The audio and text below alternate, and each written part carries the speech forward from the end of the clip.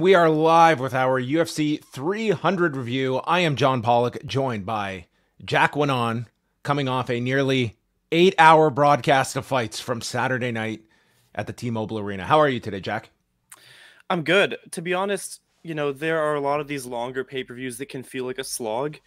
And last night wasn't that, honestly. I think that the lineup and the performances that we got on last night's card didn't make it so that I was really counting down the rounds and waiting for the end of the night and just really hoping like oh I can go to bed in this many rounds or whatever. It, it was a it was a pretty easy watch in my opinion despite its length, which I think is a pretty rare case for the UFC. I agree with you. Frequently for these pay-per-views, I find the pacing to be I don't know what necessarily is the difference, but I I tend to not feel it as much during a lot of these UFC broadcasts. And by the end of the night, that I'm looking down, it's like I have been watching fights for just about a third of an entire day. And it's an incredible amount of time. Um, but this was an excellent show. And like you, I did not have too many complaints about the length. And I mean, this card on paper, we talked about it on Friday. It was among the deepest in UFC history. And I think you got, I think that this was a card that if you were going in, even as a uh, like holding this to this grand standard, I think this card achieved that. Totally, yeah. I, I think that there were a lot of high hopes, high hopes for this card, and going into it, one of the things I was talking about was you can have a great card on paper, but the way it plays out is a total different story. And you know, this card played out like how it looked on paper, which is pretty great. So we are going to be getting into uh, all of the 13 fights that went down on Saturday night again at the T-Mobile Arena, UFC 300 and they announced an attendance of 20,067 and a gate of 16.5 million dollars with $300,000 bonuses, which if if you want a a gif for the antitrust lawsuit, just go watch that podium on Thursday when they announced the bonuses and the reaction from the fighters about $300,000 bonuses. If that doesn't say everything right there, Jack guys, Dana White is so generous. He didn't have to, but he uh, pulled some strings and he got some. Uh, you know, he, he called a friend, got the money for it, and now everyone's uh, with the performance bonuses getting three hundred thousand. No, I mean, jokes aside, the, the weird thing about this is like, even though it's obviously great whenever fighters get more money, it's one of those things where, like, the, there's nothing stopping them from doing these things. So when it happens, you're you're like, well, why aren't you doing this more? You know. Do you think this will still be a profitable event for the UFC? I say that. Oh, geez, I mean, I don't know. This business model think? doesn't doesn't seem sustainable. It's going to be really tight to see if if, if this if this one crosses that that threshold. But yeah, um, you know, it's one thing with like these. a few more canvas ads. Yeah. Um. Anyway, it, it, was great to see the the fact that the bonuses were higher for this one, and we're going to talk about a fight that uh, two guys absolutely uh, deserved uh, 300k and then some. Uh, but we will get into all of that later. Um, as well, we will talk about some of the news afterward because there was a fair amount of news from Dana White's press conference uh, concerning upcoming pay per views. We will uh, couch that for later. But let's start off with the main event between uh, Alex Pereira and Jamahal Hill for the UFC Light Heavyweight Championship. This was Jamahal Hill's return to action after a pickup game of basketball, the, the downfall of so many great fighters, and coming back from a torn Achilles tendon. And this fight was, I mean, largely contained to three minutes and 14 seconds after Alex Pereira. We found out afterwards, coming into this fight with a broken toe, that was not going to uh, stop things from uh, from happening. Would be uh, quite the downfall of this main event. It would be the uh, the, the, the natural curse after UFC 200 lost its main event. But nonetheless, the fight stuck to, uh, stayed together. And I mean, the, the key moment of this fight was Alex Pereira getting kicked low and Herb Dean coming in to give him time, and Alex Pereira doesn't even acknowledge Herb Dean. He doesn't take his eyes off of his target, waves off Herb Dean, and then proceeds to drop Jamahal Hill with a short left hook and drills him with strikes on top and gets the finish at 3 minutes and 14 seconds of the first round. On most cards, uh, Jack, this would be the uh, the the memorable ending to a fight, but not on this night. But nonetheless, it was quite a statement victory here for Alex Pereira, and I think that overall, this guy aside from like the one loss to Israel Adesanya, I mean, this guy has crafted an unbelievable uh, just resume for himself in such a short amount of time that this is just his latest uh, victim, his latest win, and I think he is starting to kind of penetrate that upper echelon of, of stars in the UFC. It is so bizarre to me that when like writing and looking back at his career, like mentioning previous moments in his career, we're talking about things that happened like one year ago. Like him making the move up to light heavyweight and getting the championship all happened so quickly. And it's wild that we're already talking about someone who has defended his his belt once and is looking forward to his next defense. He he made the he threw out the idea of fighting on the Brazil card next month, and it's like, yeah, that's not happening. But in three weeks, three weeks, he was he was willing to take this fight uh, in, in Brazil. Yeah. So I, this was a, a great performance for him. Like you described it, really, this moment, that this fight was boiled down to one moment. I mean, there wasn't really much to say about it before then. Uh, but I, I think that what's interesting about Pereira is that if he can keep this going, he will be the first light heavyweight since Jon Jones to really carve out an era in the division. We haven't seen an era since Jon Jones left. We've just seen a lot of guys get a shot at the title and have their their moment in the sun, but nobody like Pereira is actually putting together something here. I think that what's worth noting is that even though Jan Blachowicz, the first champion since Jones, defended his title, he defended it in a fight where Adesanya was jumping up 20 pounds to face him in a champion versus champion match it, it, I think I personally think that's a different story than facing someone who is in your natural division, especially when you take into account how much greater that difference in weight between middleweight and light heavyweight is compared to other divisions. But yeah, I think that this was a, a big win for Pereira. It continues to establish him as a highlight reel striking talent, and I think that if he keeps this going, he's going to be one of the biggest stars in the promotion. How do you feel about the idea of him he's obviously open to the idea of heavyweight. And when you're looking at what are the most attractive fights for Alex Pereira, I mean, he's probably staring at a rematch with, with Prochazka after tonight at light heavyweight. At heavyweight, I mean, I mean, they remarked on the broadcast, like, it is a miracle this man was competing at middleweight. I mean, he is gigantic for 205 pounds. I don't think he would be that uh, undersized at heavyweight, but does that appeal to you seeing him go up to heavyweight? And or do you feel that this is sort of his lane that he could really become a dominant light heavyweight? I don't like to entertain the the multi-division ideas until someone's really cleaned out their division. And with one defense i just don't think we're there yet with pereira. Am i declining the idea of this happening in the future? Absolutely not. We could definitely see him make the the leap up to heavyweight someday. But I, I just don't think we're there yet. I, I, think that he needs a couple more fights in this division before we can start talking about real super fight uh, pursuits at a higher weight class. Then we go to Zhang Weili and Yan Xiaonan. this was one of the more bizarre fights I have seen in quite some time. So, I mean, Zhang Wei, uh, Zhang Weili was the second largest favorite on this card coming in. She was uh, listed as a minus 520 favorite. And I thought was going to secure the uh, one of the performance bonuses by her her win at the end of the first round, and I was like, wow, we're going to get two uh, buzzer beater finishes in back to back fights here because in the first round, um, it is. Uh, Zhang lighting her up with left hooks and then does this big hip throw, getting to side control, mounts her back. I mean, Zhang Weili was such a superior grappler throughout this fight, but gets this choke applied and it is deep. And Yan Xiaonan not even really fighting it. She is just withstanding this. And you hear the, the, the clapper go that there's 10 seconds to go. And I'm just, there is no way this woman is lasting 10 seconds with how deep this is. But the horn sounds and you're like, wow, she, she withstood and barely because as, she, as Zhang Weili releases the choke, dude, she is like limp. She is out cold and the broadcasters are noting this. I mean, your referee Jason Herzog, I think he's realizing like he could have he could have waved this off. Like just because um the the the horn sounds does not mean you can still you could still end the fight based on the fight ending sequence. He could have done that, but opted to let her continue. And amazingly, Yan Xiaonan gets to see a second round here, but this was as close as you're going to see to a fight ending. Um, with Yan Xiaonan not only coming back, but managing to win at least a round on my scorecard later.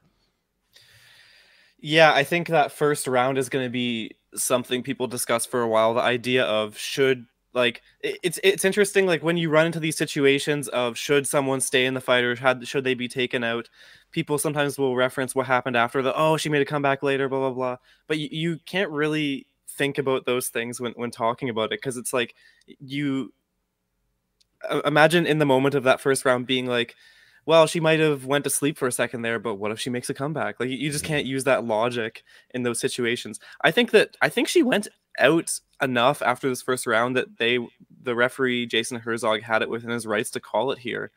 And part of me was surprised he didn't. I mean he tends to be one of the more consistent referees when it comes to calls like this. And uh, I mean, Yan, she stumbled to her corner, and it was it was pretty hard to watch. It, was kind of like in the moment, like, are they really sending her out for the second round? And yeah. this is, um, you know, it it is worth deciphering the difference of like a flash knockout versus a versus a choke. But I was more so in your camp that I think Jason Herzog could have stopped this, and yeah. it would have been perfectly acceptable. Um, but she comes out, and then you know the second. I went 10-8 here. There there are some that might go so far as to like this woman was out. If you wanted to go 10-7, you probably could justify like one of those unicorn 10-7 scores. I went 10-8 on this first round. The second round, I mean, Zhang again just gets her down and flattens her and just is landing so many strikes, looking for the opening for another choke. And Jason Herzog, like he is taking a step in. He is ready to call this, and he's probably already on high alert at the beginning of this round, knowing the state Yan Xiaonan is in. But Yan Xiaonan is able to withstand an arm triangle and gets out, reverses on top right at the end of the round.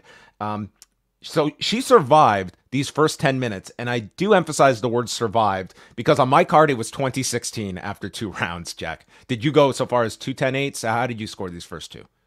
Yeah, I had as two 10 8s, and I'm not against the idea of making one of them 10 7. I mean, when you use the criteria, you can make that argument but I always when when looking at scores like this, I do take into account that the actual judges tend to be much more conservative with yes. the 10 8s and the 10 set the the, the non 10 9 rounds.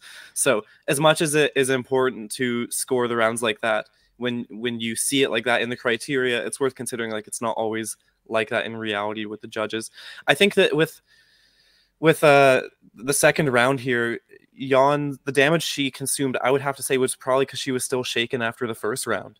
And I was honestly surprised that it didn't get stopped here because uh, even though uh, Zhang struggled more with the submission attempts, Yan was really getting pounded away with these ground and pound shots. And there were a few moments where there was such a consecutive amount of blows that I think there was a, a justified, you know, part to stop the fight here. I, I think that the only part in the fight where Yan found an opening was when Zhang started to tire and slow down. Yeah, I think that that was just the accumulation of those 10 minutes for, for Zhang because in the third round, it's it's definitely Yan Xiaonan's best round of the entire fight. And that said, she is still taken down and, get, and gets her back mounted at the beginning here. Uh, but then Zhang gets the back, flattens. Oh, sorry, I'm going back here to the second round. In the third, I was I'm all over the place. It was a late night, folks. Uh, the third round, we come in and uh, Yan knocks Zhang off balance after a side kick and then drops her and is attacking with kicks while Zhang is on her back. And uh, Yan gets her down. She's in half guard after both had landed simultaneously. And it's Yan with a leg sweep at the end. So, not like a dominant round, but certainly the round that I scored for Yan Xiaonan, which was, I mean, pretty damn impressive given the fact of the, the first two rounds of what she withstood at this point um, to at least show life here in this third round. Yeah, and I th- I think it only made sense for uh, Zhang to do what she did next for the next few rounds, which was to just get the fight back on the ground and try to overwhelm Yan. And I, I think that was the the smart plan here. I mean, the third round was scary, and for a few minutes, the commentators were talking about like, could we be seeing an upset here? The the live odds like went down to like 100 on both sides. But once we got out of that third round, we kind of realized that that was just sort of like a, a mid fight shock because once we got to seeing this fight as a, a full story, we saw that was kind of a, a blip in it, a blip in it, and it ended up being a dominating performance for Zhang if anything, it was an off round for Zhang Weili as yep. she prepared for the championship rounds. And again, as Jack kind of outlined here, I mean, it was just Zhang getting the superior position, flattening her in the fourth, uh, landing hammer fists, and then in the fifth gets the back again, mounts her. I mean, it just the grappling. There was a great deficiency between these two, and Zhang Weili gets the unanimous decision victory. Amazingly, this goes the full 25, uh, 49 45. And as Jack and I are toiling with the idea of a 10 7 round in the first. I believe all three judges scored that one 10 9. So that does tell you the, the conservative nature of some of the scoring here, as a woman was literally put out at the end of this first round. So Zhang Weili retains. We also skipped over one of my favorite parts of any UFC broadcast. That's the the conspiracy theory, and that was Daniel Cormier, who thought he had seen the trainer uh, whisper to uh, Yan Xiaonan, "I can wake her up." And Daniel Cormier thought he saw smelling salts, and then they were informed during the broadcast, no, he was uh, he was using water to try and uh, uh, revive her. So there were no smelling salts here, uh, per Detective Daniel Cormier we almost got uh, Greg Hardy Inhalergate 2.0 in oh, the could you have imagined? Here. Yes. And uh, I didn't actually see what was going on in the corner, so I I heard the the smelling salt thing. I was like, oh, what's this about? Uh, you know, I'll look into it if it becomes a bigger issue. But then later in the fight, when Yan had a good opportunity, I was thinking, oh no, this could be like a no contest if if something happened in the corner. But uh, Joe Rogan is not doing the follow up. Are you sure? Should we get confirmation? He's just going right. Is that legal? Can we use smelling salts? I mean, these two were just going down their path of like what happened here. Jon Anik much more reserved of let's check with the truck and see what they saw I, here. I think that there's pros and cons to having having a guy in the booth like Joe Rogan, which will just say whatever he thinks and whether it's good or bad for the fight. You know, sometimes you'll get moments where he'll disagree with a call, and it'll be great to have that sort of dissenting opinion in the booth. But there'll be sometimes where he's just saying something and it's just kind of like just wrong. well, Zhang Weili, I, I thought she, you know, uh, looked excellent as much as you could in in this fight. I would say this one largely overperformed because this was not one of the fights that I think were, was jumping off the page at people in terms of the UFC 300 lineup. Uh, they were talking afterwards at the press conference of just how big of a fight this was in China. Um, but overall, I you know they were also in the most impossible position of following the fight we're about to discuss as well. But I mean, this turned into a really entertaining fight because of just the uh, bizarre nature of that first round and just how dominant Zhang was for the first two rounds. I, I think that the fight was kind of in a cool down spot to use like a wrestling term, and unfortunately, like even though there were some really exciting moments, you could tell the crowd just wasn't fully into it, despite how back and forth and how interesting it was at times, just because they were coming off of what was a, a knockout of the year contender and an incredible matchup. Then we move on to the BMF championship fight between Max Holloway and the defending BMF champion Justin Gaethje at 155 pounds and this was coming in with uh, grand expectations. They were uh, remarkably met and then some. So we are starting things off. Um, Michael Buffer, also know, or sorry, Bruce Buffer, noting that it, this is the undisputed BMF championship. Because could you imagine a world where we have an interim BMF champion? Could that, that could that be that a, would be a disaster? I mean, who is actually the baddest? Is one the the second baddest, and then yeah. the, the among the baddest MFs? Yeah. Yes. Uh, so early on, it's um, Max Holloway is coming out and he is looking very sharp early on, but he's eating several calf kicks, and this would be a consistent offensive weapon by Justin uh, Gaethje. And the first one does like send Max Holloway off balance, and you're seeing just the, the power that Gaethje has in these calf kicks. But Holloway responds, and his left hook was very effective in this opening round, stunning Gaethje. But then the key one was a spin kick that was aimed for the body, but Gaethje is almost like shooting in, so he takes this right on the nose. And he goes to his corner and he's telling Trevor Whit- Wittman that his nose is completely blocked. And when they showed the replay, like this could not have been more flush with the heel going right into the nose. It was one of the most effective strikes of the entire fight and kind of set the pace here for, uh, round two, and Justin Gaethje, who would have to be dealing with many facial issues uh, throughout these next rounds it became a tough night for Gaethje from that point forward. I think that was one of the moments that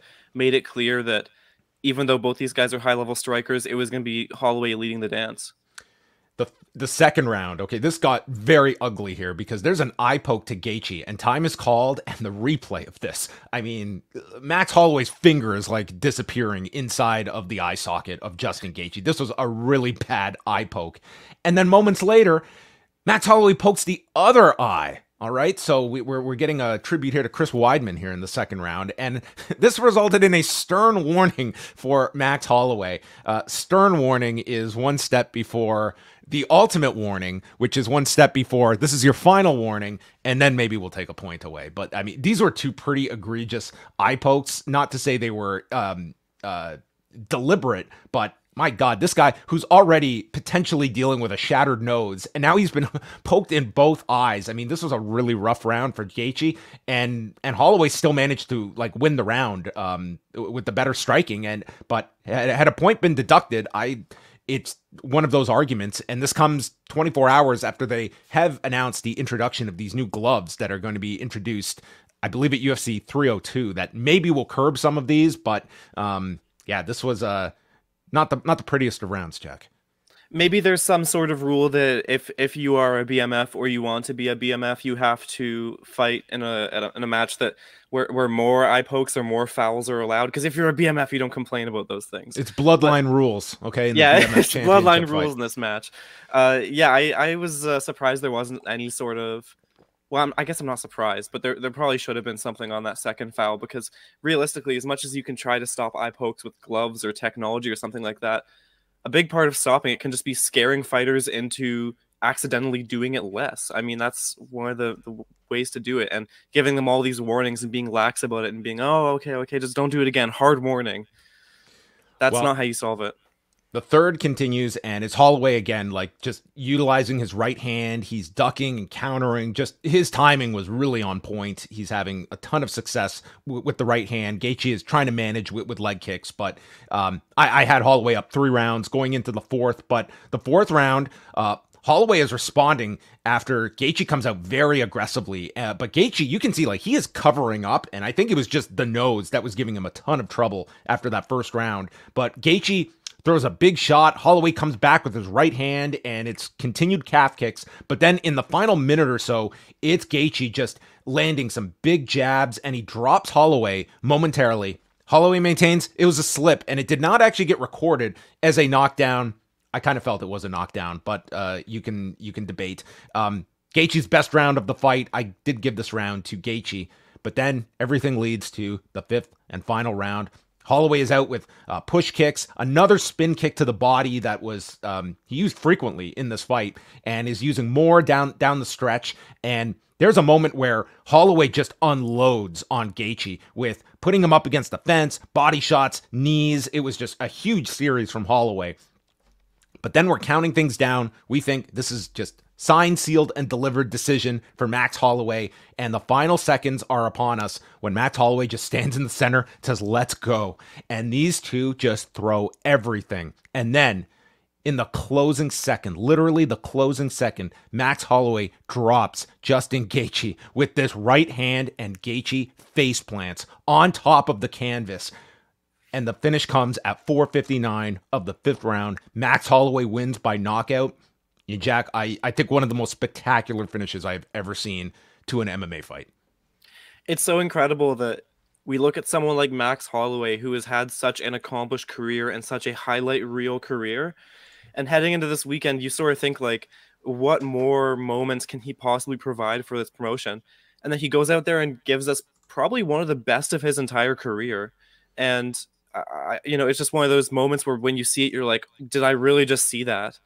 I think what makes it so surprising to me is the fact that Holloway, the person who is up easily three, you know, four rounds at this point, he was the person calling for this crazy brawl in the middle of the cage. It wasn't Gaethje who, you know, needed some sort of hail mary to win the fight. It was Holloway who clearly just wanted to create a moment, despite being up and being literally one second away from a comfortable decision win. This was quite the moment. It was quite the fight. I think that even if they didn't have this this wild exchange at the end, it still would have been a fight that people said was um, entertaining. But I mean, this moment adds so much to it. Yeah, when, when it comes to uh, finishing someone with a second to go, um, you know, you had it was not a great fight, but the ending was incredible with Demetrious Johnson and Kyoji Horiguchi in Montreal. Then a few years ago, it was Yair Rodriguez and the Korean Zombie. Um, I mean, this just dwarfed those when it comes to just the finish at the end. Uh, not like a come from behind win. I mean, Max Holloway was comfortably ahead, but man, I've been like racking my brain thinking like the greatest finish to an MMA fight. I just think, given the fact that this was such a massive show that so many people saw, like going into the, I would call like the greatest performance I'd seen from Max Holloway prior was the Calvin Kattar fight on ABC. I just thought like on that night, I don't think there was a better fighter in the world than Max Holloway on that night. But in this one, this is going to probably be uh, what like this will be the closing image when that Hall of Fame video airs for Max Holloway. It's going to be this shot that will be synonymous with his career of face planting Justin Gaethje. And I mean, you talk about a guy that comes in and a loss, what it would have meant to him, it, like just totally separate paths now where man he's got a avenue at lightweight he's got an avenue at featherweight his star power has never been higher and this was an all-timer of an ending. And there's there's part of me that just wants to see him explore lightweight uh, now that he's put on this weight rather than doing this dance back and forth between featherweight and lightweight. But i mean i said on friday like i don't know if Ilya Topuria is the best stylistic fight for him but man i'm interested to see that fight um but there's also a lot of fights at lightweight for him. I mean, he can kind of write his ticket after this. It's going to be a big fight that he gets uh, next. But this, I mean, if you have not seen this, this is a must see, as are all the reaction videos to this that I've watched many of uh, this morning. I think what's interesting or, or, worth remembering is that a lot of people counted Holloway out heading into this fight. You know, his previous trip up to lightweight didn't go his way, and Gaethje is still a, a tough out in the division. So I think a lot of people were thinking this might be a disastrous fight for him going up a weight class and facing another tough striker. But it ended up being a pretty great performance for him he wanted a featherweight title fight afterwards and even if you do think it's not the best matchup for him and you know I, I, think there's certainly something to that that might not be the best matchup for him for someone like holloway this right now might be the last chance in his career to get a shot at featherweight.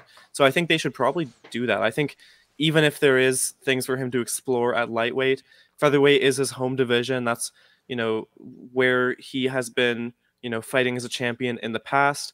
And he is more than qualified for a shot right now, in my opinion. I think he was qualified before this weekend, and I don't know if a win at lightweight actually does too much to that case, but it certainly helps that he's still on a winning streak coming out of this weekend. He's not coming off a loss.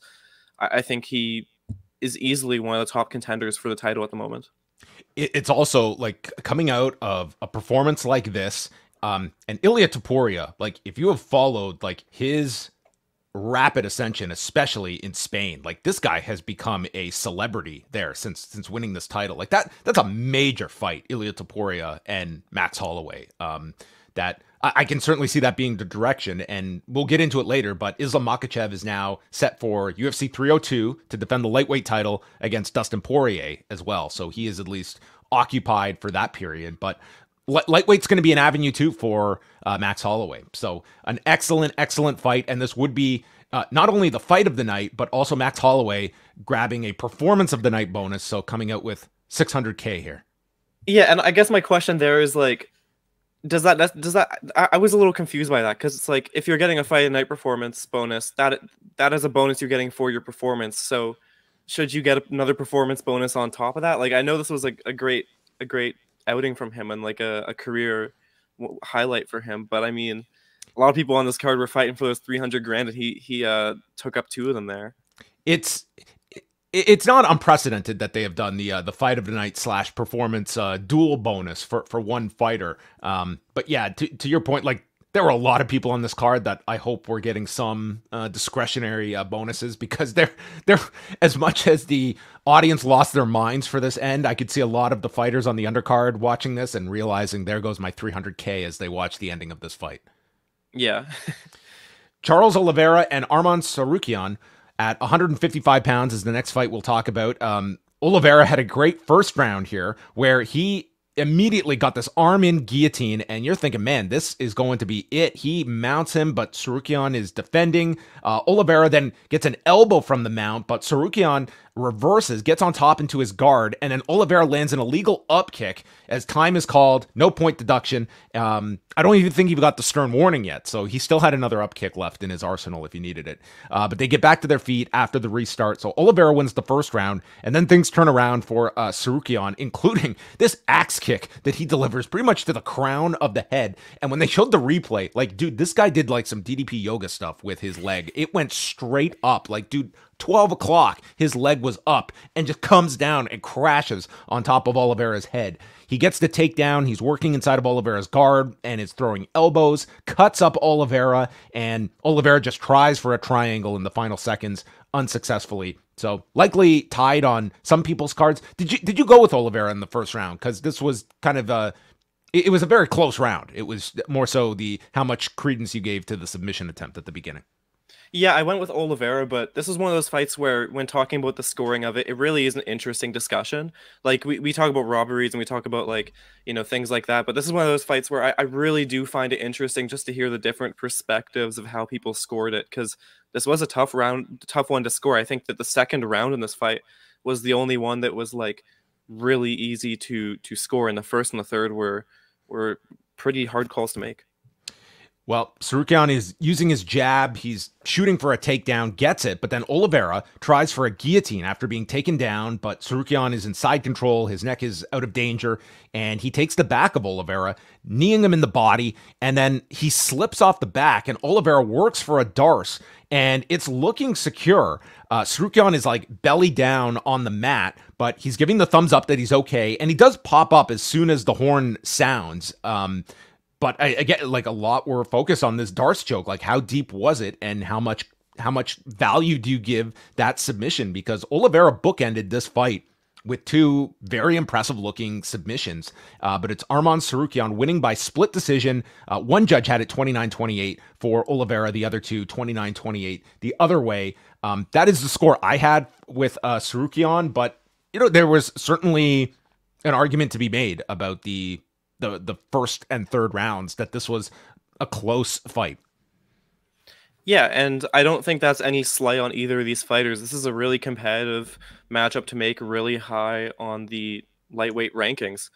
I think this was a good look for Tsarukyan to, to beat a former champion and to beat someone who was just months ago in the title picture. I, I, I think that now that we know he's not going to get a title shot next, I think he has a fair case to say that after Makhachev's next fight, that he can be in line, next in line for a, a shot at the belt.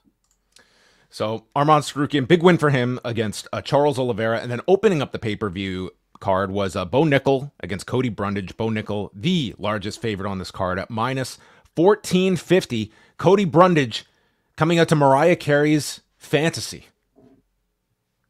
It's a good choice. Yeah, this this would predate your life by how many years? This was a 95 release. I'm going to save you the the making you feel old moment. We already did that on the preview show. I feel like it, it takes years off people's lives to remind them of these things.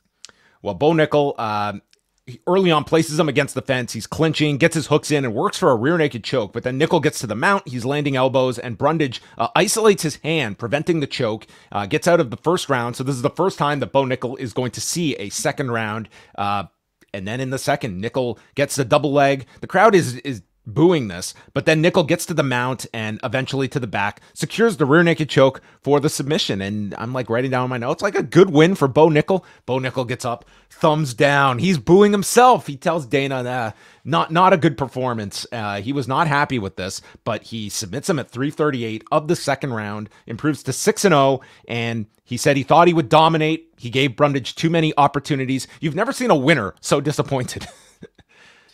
it's wild. I mean, I know a lot of fighters that are, you know, their their biggest critic, and I think that's fair to an extent. This was like a not a pr- proportionate response to the type performance he had. He got a second round finish. He dominated basically the entire fight dude, just because you didn't finish it earlier doesn't mean you should be disappointed. I was also, I mean, I, the, the booing I was surprised by. I know that Nickal has this reputation for having a lot of quick wins, but you cannot grow as a fighter if you are just having these really fast performances. You need to have these fights in deeper waters. And this isn't even deeper waters. This is the second round. He got a finish and he was kind of cruising before then. Like, I, I think that these are the type of fights that are going to slowly build Bo up. And I, I saw no problem here, despite the boos and despite him being so uh, down about a pretty solid outing. Yeah, I, I think like that level of, of self criticism, it, it, can be very. It, it's a sign of a guy that that's very fueled. Obviously, I think that is what separates some some fighters from being very good fighters to great fighters, I would definitely caution. Like if I was in his corner, be like, listen, you can have all those feelings. Let's not vocalize them uh, to, to everybody, uh, especially to uh, Dana White. But it's it's your prerogative to handle a win or a loss, however you choose. But I think and. Dana White pretty much stated after the fact, like, listen, this guy has a ton of pressure on himself. It's like, don't, uh, don't, don't allow all this pressure on you. There, there's a lot on this guy. Like, he was like, here is this guy that I think everyone sees having the opportunity to have championship level um, aspirations, and he faced a lot of criticism just for being on the main card of such a loaded event. And the other side of that is, man, look at the the amount of expectation that Bo Nickal has. Six fights into his pro career, and he's and half of those have been in the UFC most fighters in his position would not be in the UFC, or if they were in the UFC, they would be on the the prelims of an Apex card where it is diehards and gamblers watching. I don't think that takes anything away from his skill level, but I think it shows that where he is in his career, he is facing so much more pressure than most people. Sure, he comes from his his wrestling background. Sure, he is an incredibly talented, but you cannot, you know, downgrade how much pressure is being put on this guy, especially like you said, when he's on this card and there was a whole discourse around why is he above all these other fights? He doesn't deserve this spot on the on the card. It, it was I, I thought that whole discourse was kind of lame because it's like not a big deal. This is how you showcase people. It's not the end of the world. It ended up being an okay fight. Yeah, I mean, it, it did feel as though like this UFC 300 card, there was it went in stages of fan expectation. Then it was accelerated by uh, like Dana White just fanning the flames of like, man, this is going to blow your minds. And I think that that brought itself like once it was like fight after fight after fight. It's like, okay, th- this is going to be a pretty damn great card. And then it almost felt like, well, there needs to be some holes that are poked at. And Bo Nickal received some of that. The main event received some of that. But I think largely the fan base by this week, I think looked at this as like, I think they they've done about as strong of a job given the options that they had available to load this card up. That this was pretty satisfactory. If your biggest complaint is you know fight placement, you know what I mean? I, I was just about to say that the the amount of discourse we saw around a fight's placement on the card just shows that there was this is such a strong lineup. I mean, most of the time, some of these UFC cards, it's just like low hanging fruit to make fun of how how bad quality some of it is. But this one, I mean, really, you had to you had to look hard to find somewhere to to drag it. I mean, for, for all those people that want to look and, and throw holes into to this card, like let's take a look at some of these upcoming Apex cards, okay? Because I mean, dude, like the the cabinet is pretty bare for some of these fight nights uh, coming out of uh, this weekend show. Uh, but let's go into the uh, the early prelims and we'll uh, zip through some of these. Uh, Jiri Prochazka and Aleksandar Rakic. Rakic has not competed since May of 2022, tore his ACL, but he is back here. And man, he was looking great until he wasn't. Um, first round, man, he was. Uh, they were mentioning he is up to like 230 after rehydrating after the fact. So, I mean, this man just jumping up in weight.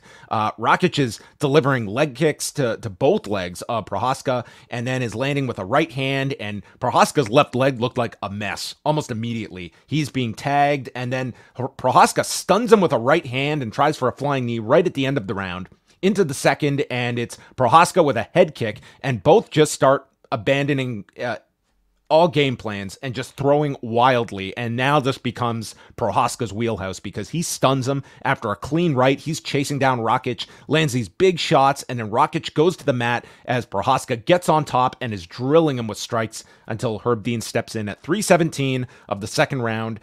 I thought Aleksandar Rakic, especially in that first round, was looking like, man, this is this might be um, the best version of Aleksandar Rakic, but Prochazka had a big comeback in the second, and you know, d- probably sets himself up to be uh, a contender for Alex Pereira. You could do that rematch. Um, a good win here for Prochazka. Definitely a good win. Were you up to speed on this samurai discourse around uh, Prochazka? So I did not know this was such a debated topic, so that it took up the lion's share of the post-fight speech was Joe Rogan mentioning the fact that um, like you're not technically a samurai. You know, you're not licensed to be, you know, you don't have your plaque that says samurai. And Prochazka gives us like a lot of oxys. Like, I know I'm not an actual samurai, but I subscribe to their, I'm paraphrasing here. I mean, yeah, this guy gave us a, like a pretty philosophical look into his head about how he identifies as a samurai, even though he cannot be fully um, described as a samurai. So wasn't the wasn't it a grudge match because Rakic said he's not a samurai and I think that's where it began. Yes, Jiri got Jiri got mad and he was like, "Well, yeah, I'm not a samurai, but i I'm I'm mad about this because I follow the the teachings of samurai." So, and then he I, took I, I out a sword was, and he beheaded Rakic right there in the octagon and said, "I think this might have been now? a I think this might have been a first for uh, a storyline heading into a UFC fight." Yes, this is Jiri Prochazka is a different breed, and uh, we definitely got that in the uh, the post fight interview. But then we go to uh, Calvin Kattar against Aljamain Sterling. Sterling coming up to 145 pounds. Um, dude, he was bigger than Calvin Kattar here. I mean, he looked huge for featherweight. I mean, this guy, this guy, this might be a detour for lightweight for Aljamain Sterling when all is said and done. I mean, holy Christ. It's wild. I mean, you just have these moments sometimes where you see someone go up to a weight class and you think, how did this person even live under that stricter weight class before? It's it's one of those moments where like how did he get to a championship level at bantamweight and how did he not decide to move up earlier? So I, I would say of all the fights that this might have been the weakest fight on the entire card. It was Sterling looking sterling in uh, the course of 15 minutes here. Um, and just a flat outing from Calvin Kattar. I mean, Sterling would work for the single leg early on, um, getting him back, getting him down to the ground, and just like he got four takedowns alone in the first round. Into the second, it's Sterling just getting him down against the cage. Crowd was very restless here. Just but this wrestling game plan was working for Sterling because he was getting no pushback from Calvin Kattar, who was just shut down um, striking wise. He gets into side control near the end, and then man, if this is not the zinger that Calvin Kattar, the line he is going to have to live with at the end of the second, Jon Anik notes that Aljamain Sterling has more takedowns than Kattar has landed significant strikes after 10 minutes. Uh, that one's going to bruise. In the third, it's Sterling closing the distance with a with a body lock, presses Kattar against the fence, and then the most spectacular moment of the uh, the entire fight. Sterling lifts him and while they while Daniel Cormier called this a power bomb, dude, this is every bit like uh, Tiger Driver '91 by uh, Sterling. Is he lifts and just drops this guy on his neck and then lands shots and uh, goes for a Darce near the end and uh, like this was one way traffic for the entire fight. Calvin Kattar landed eight significant strikes for the entire fight of 29 throwing. Not to say Sterling had a huge output himself, 39 of 71, but also securing uh, 8 of 13 takedowns in this fight. So Sterling gets an easy 30 27 victory. Um, but as much as Sterling got the win here, this was a fight that, uh, like, I just have not recalled Calvin Kattar having such a flat performance as we saw here over 15 minutes. It was a stellar outing from Sterling. Uh, he was able to hit that Tiger driver. Uh, I'm not looking forward to the unsafe worker discourse we're going to have uh, following that spot, but uh, wasn't I even the what, finish. Wasn't even the finish. Yeah, I mean, uh, just the the way people put matches together nowadays. I, I it's crazy. Uh, but yeah, this was a, a, great performance from him. DC was really like going in on him for not like doing more in this matchup, but this was a guy who was coming back after losing a, a fight against Sean O'Malley, and he was moving up weight class. I can't really blame him for playing it safe and just having a completely dominant performance. I don't think there's anything wrong with that. At the end of the day, this is a sport and you need to win to succeed. You need to win to get paid. Some of these people, most of them, are on a show pay basis. You get double the pay if you win. So having a safe performance like this, I can't blame Sterling, and I, I don't think it's any slight on him. I think he was just he was he, great... he wasn't getting any resistance. Like eight takedowns. Like yeah, he's just gonna continue this. Like um you know, and Calvin Kattar too. I mean, I hadn't realized it. It was October of 2022, the last yeah. time he fought. So he has had an extended uh, break as well. Um, you wonder if that played into things, but he is 36 now, and he's been in a lot of big action fights in his uh, featherweight career. But I, I agreed with you. Like, yeah, this was not a super entertaining fight, but for Aljamain Sterling, like this was um, walking through the door at featherweight, getting a win, and he's going to have a top opponent at featherweight, um, which is a very deep weight class. It, it, it doesn't help that he was just in stellar company on this night. I mean, this was not the card to have a okay performance on because everyone else was just going to blow it out of the water. But I mean, you can't take that away from Sterling. This is this was a good fight, and coming from that championship background in bantamweight, and now with a win at featherweight, he has uh, some interesting options now. Next was the highly anticipated UFC debut of Kayla Harrison taking on fifth ranked Holly Holm at 135 pounds. Um, that was the focus of the weigh ins, and Kayla Harrison did make weight at 136 pounds. Um, this being a woman who in the Olympics competed at 171 pounds in judo, um, and you know had stated and has been reflected upon the fact that she uh, could not continue during the doing the featherweight season or sorry the lightweight seasons at PFL knowing that I can't make this weight so many times a year and kind of intimated this week that the UFC, like they were not going to keep this featherweight division open. Like her entryway into UFC meant getting down to 135, but she she managed to do it here, and she came out with as strong of, of, of a performance as you could ask for against a very well regarded opponent in Holly Holm. To the point, I, I thought the the line was long here. I thought Holly Holm was a very active underdog, but that did not prove to be a, a, a in actuality when it came to Holm's performance here. But Holm enters and clinches with her and even managed to uh, get a reversal on Harrison before she is thrown to the ground. And Harrison gets on top in half guard, landing some big strikes, mixing in elbows. Very dominant round for Kayla Harrison in, in the first. And then the second, it's a head kick by Harrison, goes for the guillotine by the cage and gets a trip takedown, mounts Holm and then sinks in the choke and gets the submission at 147 of the second round. She was very respectful, putting over Holly Holm as a legend in the sport, but she is proclaiming she will be champion by the end of the year. And then we got a video from Amanda Nunes after as well, uh, listening to this uh, post fight speech from Kayla Harrison and indicating uh, a potential return for Amanda Nunes. So um, it was uh, like she passed this debut with flying colors, and I think could be uh, thrown into a title fight next if you wanted to go that direction. That's how strong she looked here. On a weekend where so many people doubted her and so many people thought of ways in which this couldn't go her way, it really couldn't have gone better from start to finish. Making weight with no issues, seemingly having this great performance against Holly Holm, a very respected name in the division, and now positioning herself really well at bantamweight. I think that there was, for a good reason, a lot of questions about Harrison heading into this weekend. How would she make a weight class that she has never been in before? How would she perform against someone like Holly Holm, who was really experienced, especially in that weight class? She proved that she deserves to be in this division and that she is now a strong part of the weight class. And I think that for everyone who was wondering, like, you know, what is she doing with this? Like, how is this going to possibly work for her? Clearly, she had some sort of plan and she had the confidence that this would work out because, well, it did.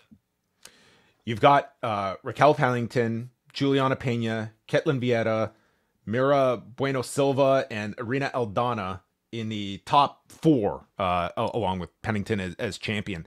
Uh, was it was this like this is a division that greatly needs that added star power, someone like a Kayla Harrison. Are you bothering with one more fight for Kayla Harrison, or is she fighting for a title in her next fight? I don't know. I I'm I'm okay with it either way. I think that I wouldn't be bothered if they gave her a title fight because look, it's this fresh face. It's someone with a lot of hype. It's someone who now has a, a win in the divi- the division, and would probably I, be the favorite in that fight. Like odds wise, I think I think Kayla Harrison would be a comfortable favorite against if it's a Raquel Pennington. Um, it's hard to object to it. You know, the, the division has doesn't have a lot of really fresh matchups, and Harrison being there, especially coming off this win, I feel like you have to use that to its full potential. I, I think a, a title fight here would work. So it was a great performance by Kayla Harrison. Uh, the big question is going to be how often can she fight at this weight class? Like, I don't think this is someone that we're going to be seeing fighting three times a year at bantamweight. I think she's going to have to be very strategic with how often she fights, and it would not. You know, she she obviously has it in her mindset of fighting one more time this year, and I, I would suppose that would be kind of latter part of 2024, which would work out very well to fight for a championship. The televised prelims opened with Sodiq Yusuff, who tried to angle for bonuses for the early prelims, the tel- televised prelims, and the pay per view, and um, was shut down almost as directly as Joaquin Buckley was at the press conference, but he was taking on the surging Diego Lopes at 145 pounds. And this one did not last very long because uh, Lopes is coming in with calf kicks. An uppercut puts Yusuff down, but gets back to their feet. And then another right uppercut drops Yusuff. He is flattened and finished with ground and pound. And this lasted all of a minute 29 as Lopes improves to 24 and 6 with his third victory in the UFC following wins against Gavin Tucker and Pat Sabatini. If it wasn't for the Max Holloway Justin Gaethje fight taking the fight of the night bonus and another performance bonus, I think Lopes easily would have exited this event with one here. Yeah, it was you know as, as good of a performance as you, you could ask for in the limited time that they had. Lopes was you know he was featured on embedded. I think they they see him as a rising star at 145 pounds, not ranked coming in, but likely will be after the uh, the latest set comes out. And then we go to the early prelims. Jalin Turner against Renato Moicano. This was, I mean, on its own would have been a, a very uh, bizarre fight. Let, let me ask you this, Jack. Uh, as as we look ahead to uh, next weekend's uh, main event between uh, Matheus Nicolau and Alex Perez, was there one fight on this card that was not a bigger fight than next week's main event? Or sorry, two weeks from from tonight, last night. Well, next week's card was supposed to be bigger before because it was going to have Manel Kape in it, and you know he's a, a really talented flyweight. But I, I, would say no. The answer is no. There's there was no fight on this card that was is greater than the next week's main event.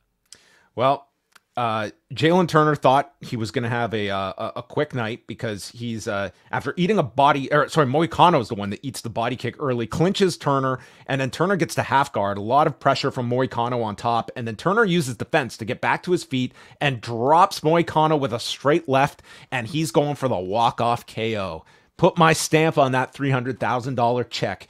Um, but it's not over. Moicano rises from the dead and he sees a second round, and Moicano gets the takedown off the fence, mounts him. He's working with strike, working with strikes, and then settles for half guard. And amazingly, the, this crowd was like booing. This was like the fourth fight of the night. Uh, hardly a, a dull affair. And he gets back to mount, and it's just heavy ground and pound. Herb Dean stops the fight at 4:11 of the second round. So after Moicano, they teased like the knockout finish. Um, Jalin Turner is going to be kicking himself over that because I, I think one follow up and it's done. I think Herb Dean would have stopped it with one follow up strike because, man, Moicano just dropped from that left hand. But it's Moicano, money Moicano, getting the victory and another memorable post fight speech. This is one of those fights where I really think it's tragic. Like, I feel bad for Turner. And, you know, when people do get walk off, KOs were never like, you idiot, why aren't you going to the ground or whatever. But it is one of the situations where, you know, he, he should have followed him to the ground. But I, I, I, I can only feel bad for Turner in this situation. He had a, a win right there in front of him, and it was snatched away from Moicano, the underdog, who was able to crawl back and earn a big victory. What did you think about, what are your thoughts about private property that Moicano got into in his post fight speech? Listen, I think that if they didn't have uh, TV limits to hit and things to do, he could have been there for another hour. Here's a sample of what we heard. I love the First Amendment. I can I want to carry and non fucking guns. I love it, private property. And let me tell you something. If you care about your fucking country, I'll read Ludwig von Mises and the six lessons of the Austrian Economic School, motherfuckers. I mean, this man's just in his own world in these post-fight speeches. But there you go. Folks. Did you even know that he was doing a fight before then, or was he just sort of? I guess one thing that I'm wondering is like, are these thoughts going through his head during the fight, and he's wondering like, okay, I'm gonna talk about this, I'm gonna talk about that, and all these other things that have nothing to do with MMA, like, or or does it just come to him right after he's done fighting and he can start thinking about other things? I think he's just free. I think he's just freestyling after the, after these fights with the, just a total stream of consciousness. Joe Rogan just like three times just wanted to ask about the fight. Moicano had no interest in talking about this fight, so there you go. He he gets the win and uh, improves to 19. I, I want to mention. Uh, I, I thought the highlight of the the post fight interview was him telling Joe Rogan, "I have a new podcast, and you're gonna go on it. You don't have a choice."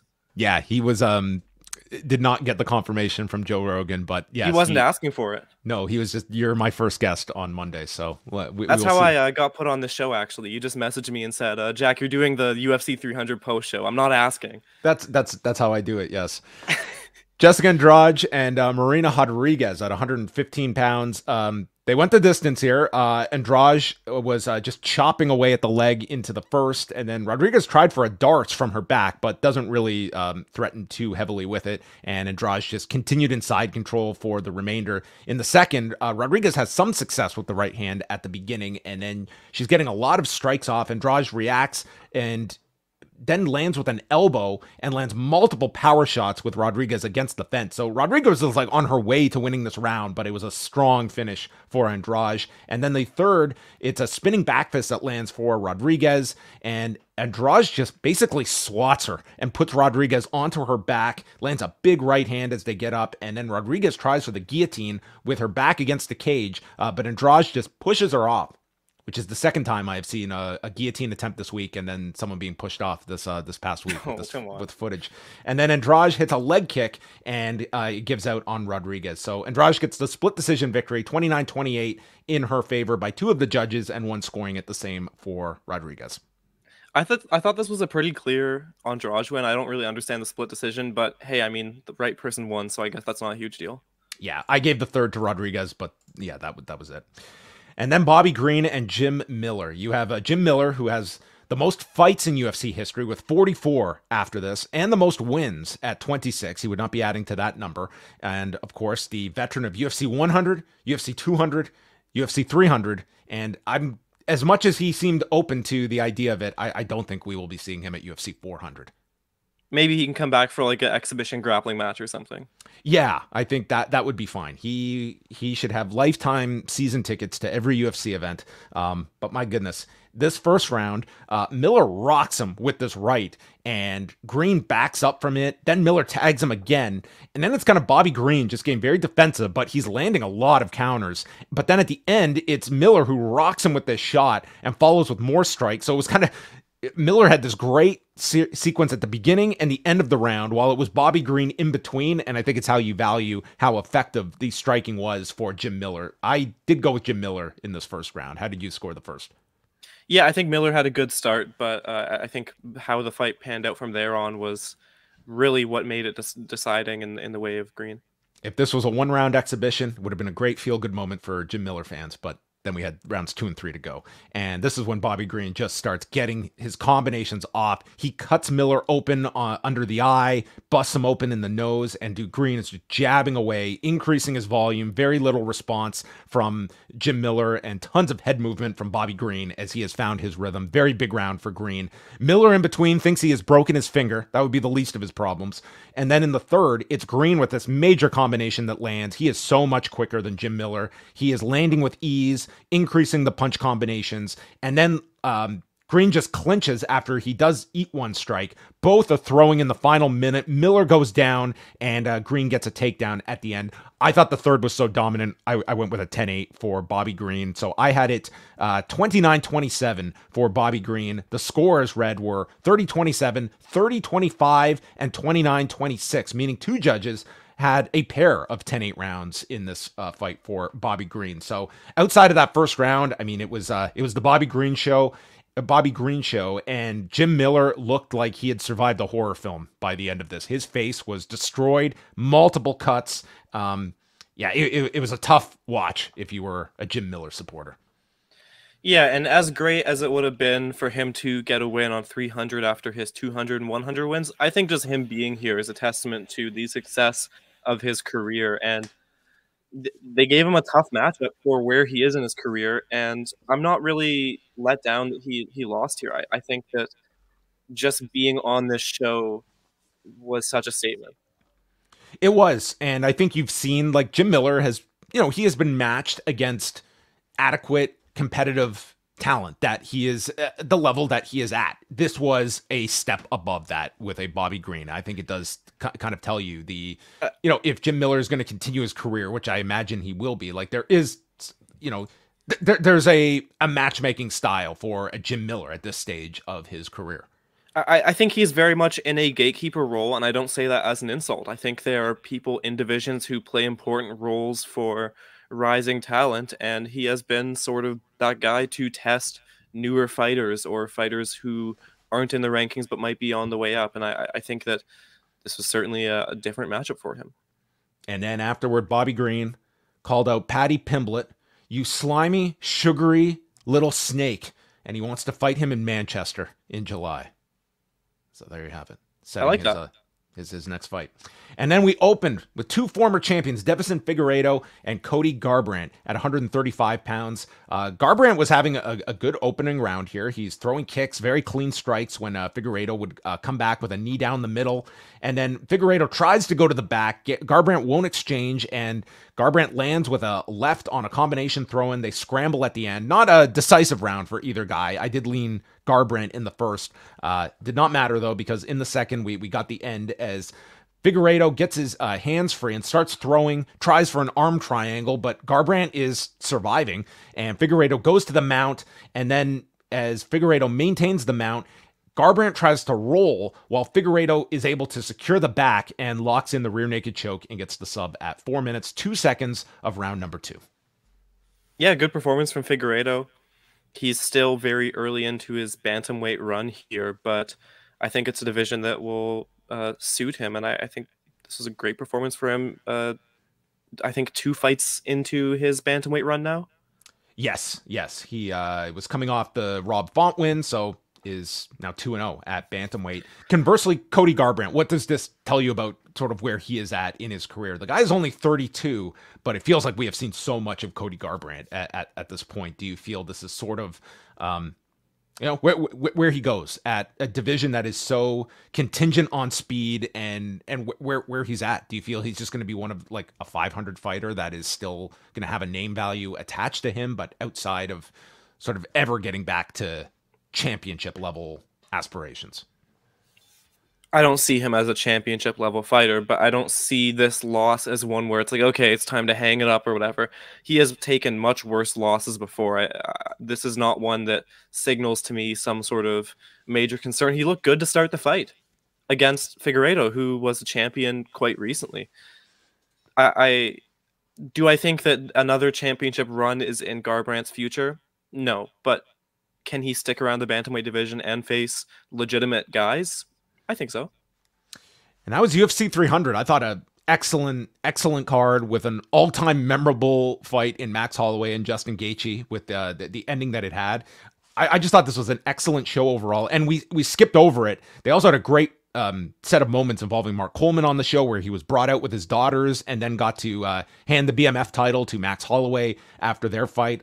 And throughout the broadcast, like they leaned heavily on, you know, old moments, uh, fighters in the crowd from yesteryear. Like this was the most I can recall a UFC broadcast leaning into its history, promoting that as a big fact. It's something they could certainly do a lot more of, but I was glad to see like this felt like a different type of presentation than just we're going to slap on 300 and this is a bunch of great fights without any kind of reflection on the past earlier in the day, I was wondering, like, I know they're not going to do Face the Pain for the pay per view intro, but what if they do it for earlier in the card? Oh, and then they did it for the the second half of the prelims, and it was oh my god, it was so great. I was oh, I was ready to run through a wall after watching that. Face Pain is so good. It's so timeless.